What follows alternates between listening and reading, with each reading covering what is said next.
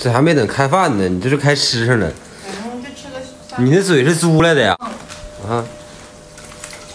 你说那话，那灶坑这里头可暖和能不？暖和那灶坑，我不想上去了。那吃的，没等开饭呢，一会儿先造饱了，然后吃饭的时候还不少吃。开饭了，今天这是珍珠翡翠白玉汤，啊，我们东北话叫嘎汤。看咱娘俩，说的还挺好听。那你看，都是有学问的人，说出的话都不一样。做的挺好。